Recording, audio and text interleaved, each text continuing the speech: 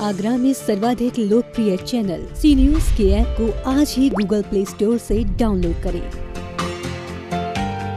प्रवासी मजदूरों को लेकर प्रदेश की योगी सरकार बेहद गंभीर है। प्रवासी मजदूरों के राशन कार्ड बनाने की खास योजना शुरू की गई है। प्रवासी मजदूरों को विशेष राशन कार्ड के माध्यम से तीन महीने तक का मुफ़्त राशन मिलेगा। प्रवासी मजदूरों को लेकर प्रदेश की योगी सरकार बेहद गंभीर है। प्रवासी मजदूरों को किसी भी प्रकार की परेशानी न हो, इसका ध्यान योगी सरकार रख रही है। प्रवासी मजदूरों के लिए राशन कार्ड बनाए जा रहे हैं, साथ ही तीन महीने का मुफ़्त राशन दिया जाएगा। जो जनपद में प्रवासी श्रमिक आए हुए थे, उसमें सरकार का निर्देश प्राप्त हुआ था कि ऐसे प्रवासी श्रमिक जिनके पहले से राशन कार्ड नहीं बनाए गए हैं और वो पात्रता रखते हैं, उनकी प्राथमिकता के आधार पर राशन कार्ड निर्गत कराया जाए। और दो महीने तक उनको निःशुल्क खाद्यान्न मिलेगा, जिसमें प्रति यूनिट उनको तीन किलोग्राम गेहूँ और दो किलोग्राम चावल और प्रति कार्ड एक किलोग्राम चना दिया जाएगा।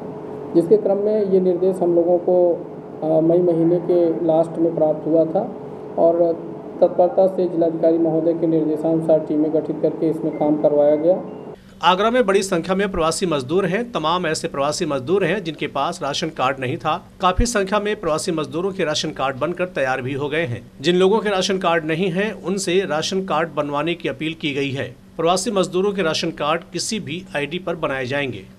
नगर वासियों को और जनपद वासियों से ये कहना चाहूँगा कि अगर कोई भी प्रवासी व्यक्ति आया हुआ हो, पात्रता रखता हो और उसके पास पहले से राशन कार्ड ना हो, या राशन कार्ड उसके घर में है लेकिन उसका नाम उसमें नहीं जुड़ा है तो वो विकास खंडों से और नगर क्षेत्र में रहता है तो नगर के अधिशासी अधिकारीगण से संपर्क करके फॉर्म प्राप्त करके भर दे ताकि उसका कार्ड बना के उसे निःशुल्क राशन की सुविधा उपलब्ध कराई जाए। और ये कार्य तत्परता से चल रहा है। हम लोगों ने जो कार्ड बनाए हैं उसमें से लगभग सत्तर परसेंट लोगों को वितरण भी कर दिया है। लेकिन अभी भी अगर कोई छूटा हो और उस सूची में शामिल ना हो तो वो निश्चित रूप से संपर्क कर ले। और इसके लिए जो है विकास खंड में वी साहबान और नगर क्षेत्र में ई साहबान के को नोडल बनाया गया, उनके स्तर से कर्मचारी भी लगाए गए हैं। उत्तर प्रदेश में बड़ी संख्या में प्रवासी मजदूर पहुँचे हैं, जो देश के विभिन्न राज्यों में काम करते थे। प्रदेश की योगी सरकार द्वारा प्रवासी मजदूरों के लिए तमाम योजनाएँ तैयार की गई हैं। प्रवासी मजदूर आयोग भी बनाया गया है।